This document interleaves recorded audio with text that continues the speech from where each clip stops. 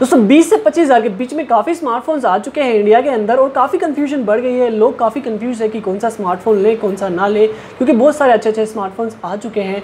अगर आपको एक स्मार्टफ़ोन चाहिए पच्चीस हज़ार के अंदर और आपको चाहिए उसका कैमरा होना चाहिए, वो बेस्ट होना चाहिए तो आज मैं आपको बताने वाला हूँ best camera phone under twenty five thousand दोस्तों। और मैं आपको हर एक प्राइस रेंज में स्मार्टफ़ोन बताने वाला हूँ बीस से पच्चीस हज़ार के बीच में। तो चलिए बिना किसी देरी के वीडियो स्टार्ट करते हैं।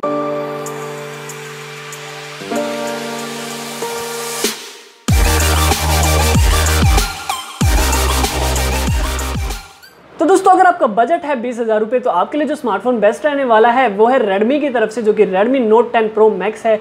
इसके अंदर आपको रियर में चार कैमरे देखने को मिल जाएँगे और आपको फ्रंट में सिंगल कैमरा देखने को मिल जाता है। रियर की बात की जाए तो आपको 108 मेगापिक्सल का प्राइमरी सेंसर देखने को मिल जाता है। सैमसंग का सेंसर है दोस्तों, और काफ़ी कमाल फोटोग्राफी करता है, और आपको आठ मेगापिक्सल का अल्ट्रा वाइड सेंसर देखने को मिल जाता है। एक सौ अठारह डिग्री का फ़ील्ड ऑफ़ व्यू है दोस्तों, और काफ़ी अमेजिंग लगता है जब आप फ़ोटो खींचते हैं। और आपको पाँच मेगापिक्सल का सुपर टेली मैक्रो कैमरा देखने को मिल जाता है और ये मैं बताऊँ तो ऐसा कैमरा किसी के अंदर भी नहीं है, तीस हज़ार के स्मार्टफ़ोन के अंदर भी नहीं है, ऐसा मैक्रो कैमरा जो इस स्मार्टफ़ोन के अंदर देखने को मिलता है आपको। बाकी आपको दो मेगापिक्सल का डेप्थ सेंसर देखने को मिल जाता है। और फ्रंट की बात की जाए तो आपको यहाँ पे सिक्सटी मेगापिक्सल की सेल्फी देखने को मिल जाती है, जो कि काफ़ी कमाल है।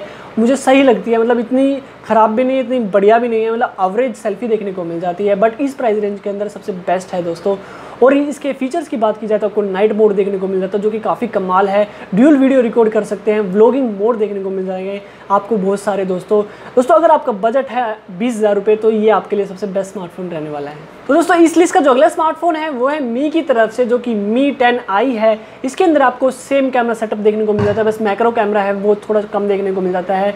वो आपको Redmi note ten pro max में ही बेटर देखने को मिलता है।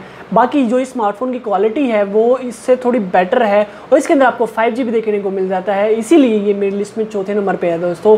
तो अगर आपका बजट है बाईस हज़ार रुपये तो आप ये स्मार्टफ़ोन ले सकते हैं। दोस्तों, अगर आपका बजट है तेईस हज़ार रुपये तो आपके लिए जो स्मार्टफ़ोन बेस्ट रहने वाला है कैमरा के लिए, वो है वन प्लस की तरफ़ से, जो कि OnePlus Nord C E five G edition है, जो अभी हाल ही में लॉन्च हुआ है। इसके अंदर आपको रियर में तीन कैमराज देखने को मिल जाएँगे। Sixty four plus eight plus two megapixel sixty four का मेन सेंसर है दोस्तों, और आपको एट का अल्ट्रावाइड देखने को मिल जाता है, दो का डेप्थ देखने को मिल जाता है। आपको फ्रंट में सिक्सटी मेगा का सेंसर देखने को मिल जाता है, जो कि काफ़ी कमाल है दोस्तों। ओवरऑल जो ये स्मार्टफ़ोन है, वो एक कॉम्पैक्ट पैकेज है मुझे पर्सनली बहुत ज़्यादा पसंद आया बट आपको मतलब थोड़े डाउनग्रेड्स भी देखने को मिले हैं थोड़े अपग्रेड्स भी देखने को मिले हैं नोट से दोस्तों, क्योंकि नोट में आपको 48 एट का सेंसर देखने को मिलता है, इसमें 64 का देखने को मिलता है बट आपको नोट के अंदर आपको दो कैमरा देखने को मिलते थे फ्रंट के अंदर इसको आपको सिंगल कैमरा देखने को मिलता है बट जो क्वालिटी है उसमें कोई मतलब कमी नहीं हुई है, बस आपको यहाँ पे ओ नहीं देखने को मिल जाता है ई e देखने को मिल जाता है वीडियोज़ के अंदर, और कोई डिफरेंस नहीं है, बाकी क्वालिटीज़ वगैरह सेम ही है दोस्तों।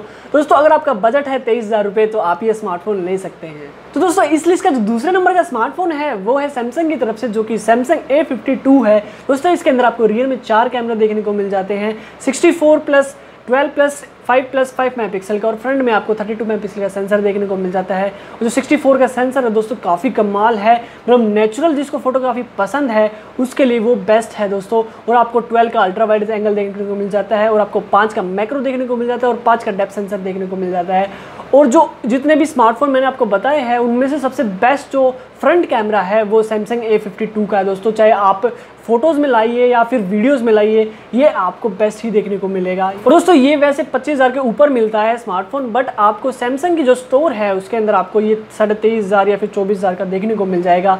दोस्तों, अगर आपका बजट है इतना तो आप जाके ले सकते हैं सैमसंग ए तो दोस्तों, इस लिस्ट का जो नंबर वन स्मार्टफ़ोन है, वो है आईक्यू की तरफ़ से, जो कि आईक्यू Z3 है दोस्तों, और जो इसका प्राइस है, वो आप उन्नीस से स्टार्ट हो जाता है और तेईस तक चलता है दोस्तों।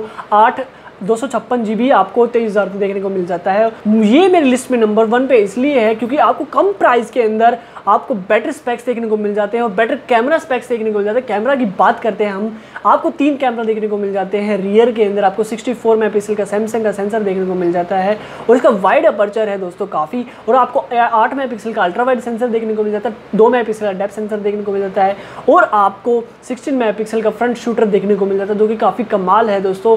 और आपको जो वीडियो रिकॉर्डिंग है, उसमें आपको 4K 60 का सपोर्ट देखने को मिल जाता है, यानी कि 60 एफपीएस आराम से रिकॉर्ड कर सकते हैं। क्योंकि आपको स्नैपड्रैगन 768G प्रोसेसर देखने को मिल जाता है इसके अंदर तो आपकी एफिशिएंसी है वीडियो रिकॉर्डिंग की, वो भी काफ़ी अच्छी हो जाती है दोस्तों। और जो इसके ओवरऑल जो फीचर्स है, वो भी मुझे काफ़ी पसंद आए हैं दोस्तों।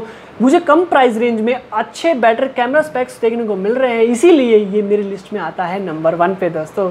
बाकी दोस्तों, अगर आपकी कोई दूसरी लिस्ट है, इस लिस्ट से हट के वो आप मुझे कमेंट करके बता सकते हैं। बाकी आप सबको वीडियो पसंद आए तो वीडियो को लाइक, शेयर और चैनल को सब्सक्राइब ज़रूर कीजिए दोस्तों।